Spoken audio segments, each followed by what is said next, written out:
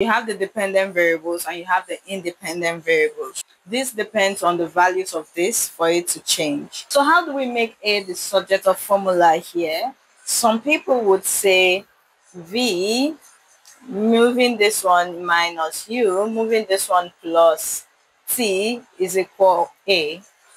This is wrong, okay? You would have to isolate A, let A stand on its own while you work with the others. What does that mean? V is already far away from A. It's on the other side of the equal sign. So we have V minus U equals to what is left.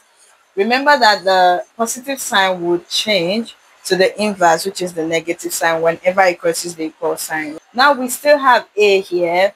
How do we move T or isolate A such that we have just A standing on its own? That's how we make A subject of formula. So now you can divide through, divide both sides by minus T.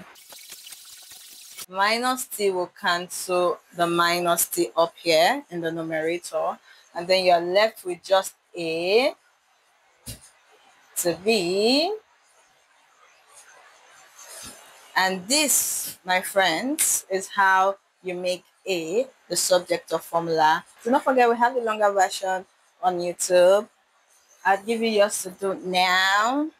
So you can go click on the link in the bio to get more detailed explanation on this. W equals R plus UX. Make X the subject of formula in this given equation. Until next class. Bye.